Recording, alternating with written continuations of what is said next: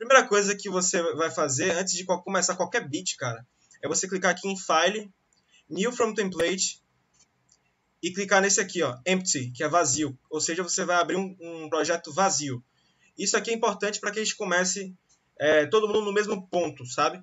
Porque, por exemplo, gera, por, com padrão, o padrão geralmente é tipo Basic with Limiter. Isso é um problema, tá ligado? Esse modelo aqui não é muito prático. Justamente pelo fato de ele já vir aqui com samples que não são legais, tá ligado? A gente não vai usar nunca esses samples. Quer dizer, não para fazer um trap, a não ser que você queira, sei lá, experimentar uma coisa maluca, mas, mano, esses samples aí são ruins, tá ligado? É, pro nosso gênero que a gente vai produzir aqui. E é o seguinte, primeira, e aí o que, é que acontece quando você inicia já com esse padrão, né, que já vem com o FL Studio? Ele vem aqui com o limiter, cara. E esse limiter, ele fode todo o seu som, ele ferra todo o seu som, cara. É horrível, sacou? Então, pra gente começar todo mundo no mesmo ponto, todo mundo na mesma página, vem aqui em File, New from Template, Empty, beleza? Que aí vai ficar com o canal vazio aqui, tudo certinho. Não vai ter limite aqui atrapalhando a gente.